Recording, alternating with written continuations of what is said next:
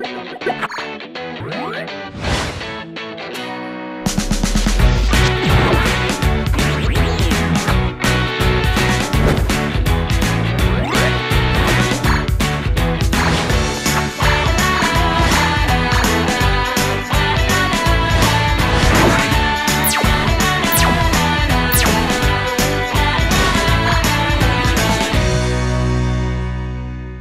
Всем привет! В эфире программа «100 советов», в которой мы, Екатерина Рожкова и Ростислав Азизов, ищем для вас и делимся с вами нужными, актуальными, а самое главное, самыми полезными советами для вашей жизни.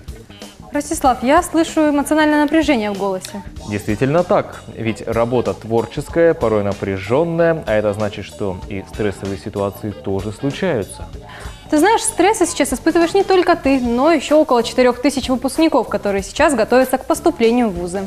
Мне кажется, что им-то намного труднее, нежели чем мне и тебе вместе взятыми. Ведь это нужно и экзамены все сдать, и профессию точно обдумать, ну и вступительные, конечно же, на отлично тоже пройти. О том, что по этому поводу думают психологи и какие направления у выпускников сейчас популярны, узнаем в следующем сюжете. Позади сложный учебный год и результат проведенных в школе лет – оценки за единый госэкзамен. Но на этом испытания не заканчиваются. Впереди выбор вуза, подача документов, а для некоторых еще и вступительные экзамены. Первое, с чем сталкиваются будущие студенты – приемная комиссия. Кстати, их работа началась еще месяц назад. Однако документы от абитуриентов продолжают поступать.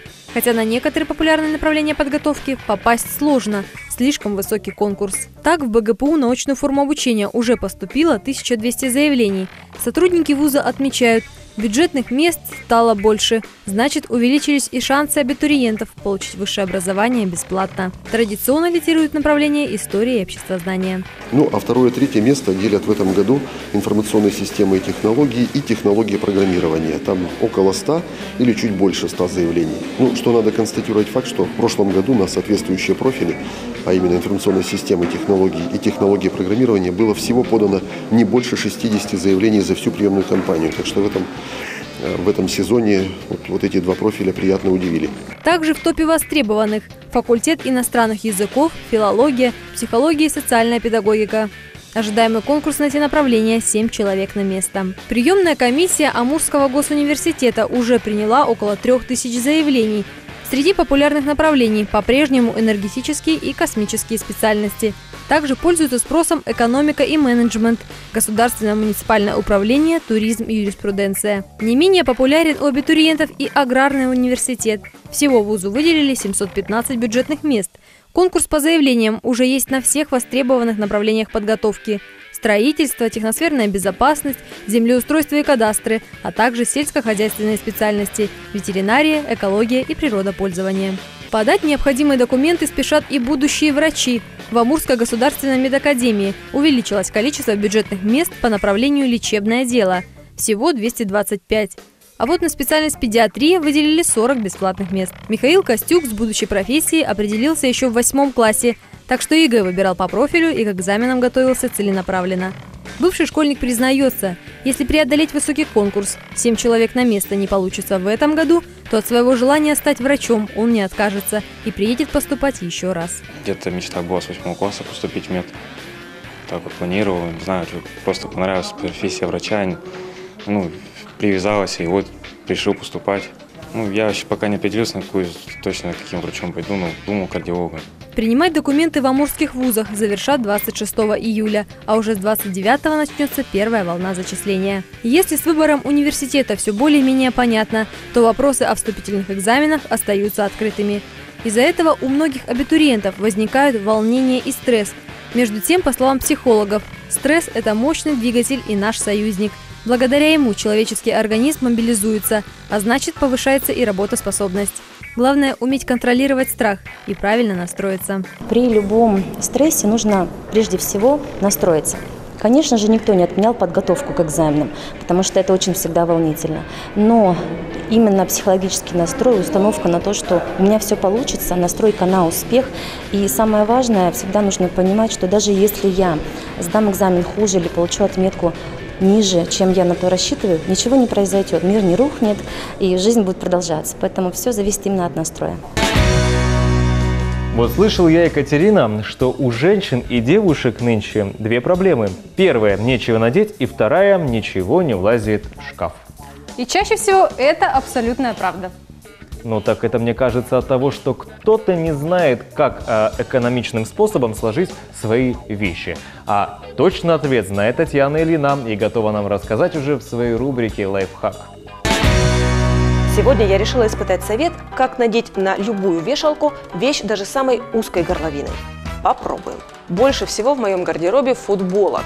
И вешать их по отдельности, каждый раз пропихивая вешалку либо через горловину, либо через низ, довольно неудобно. Поэтому я наткнулась в интернете на небольшой совет, который рассказывает, как можно очень быстро целую стопку футболок сразу надеть на вешалку. Для этого нам потребуется взять футболку, надеть ее на руку, следующую также надеваем. И все вещи, которые у вас есть, даже если это не только футболки, но и какие-либо платья или, как в данном случае, свитера, надеваем на руку. Потом берем вешалку и просто протаскиваем ее. Готово. Таким же точно способом можно на одну вешалку надеть сразу несколько вещей.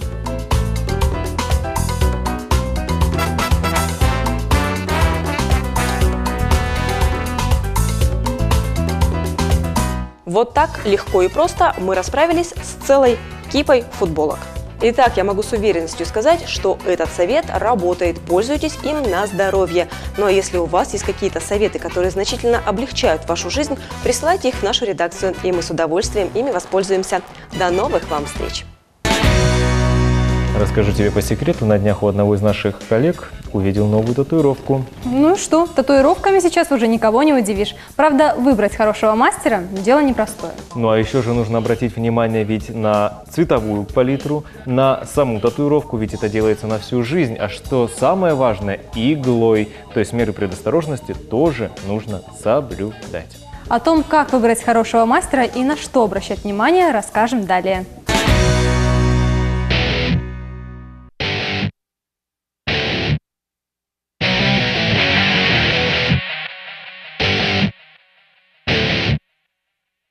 История нательных рисунков насчитывает уже несколько тысячелетий. Когда-то они служили не просто украшением. Татуировка означала принадлежность к племени, роду или тотему, служила маскировкой во время охоты, а кроме этого наделялась магической силой. Большое значение имели цвет, место расположения, а также значение самого рисунка. Сейчас татуировками уже никого не удивишь, ведь они давно стали одним из модных трендов.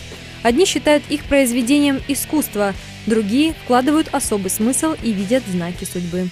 Это один из благовещенских тату-салонов. Григорий работает там мастером. Парень увлекся татуировками несколько лет назад. С тех пор они стали неотъемлемой частью его жизни. Сейчас в его арсенале не только бесценный опыт, но и более сотни эскизов тату различных форм и размеров. Кстати, прежде чем отправиться к мастеру татуировок, нужно обязательно ознакомиться с его работами. Совет Григорий.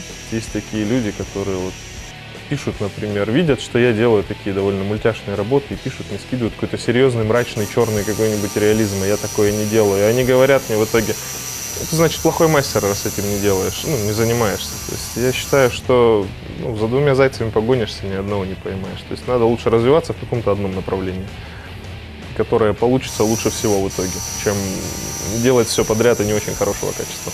Сделать татуировку стремятся как мужчины, так и женщины. А вот для несовершеннолетних в салоне действует строгое правило. Набивать татуировки они могут только в присутствии родителей и после подписания договора.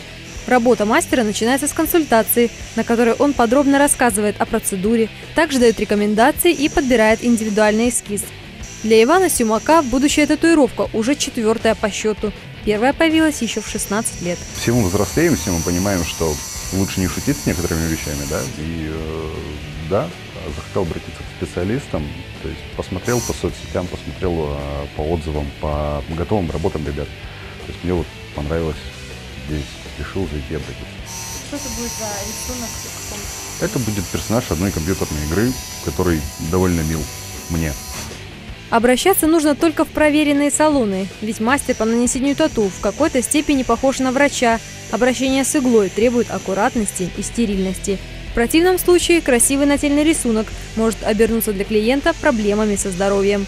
Особенно это касается тех мастеров, которые работают на дому. Клиент должен смотреть, э, как работает мастер, то есть как он подготавливает рабочее место.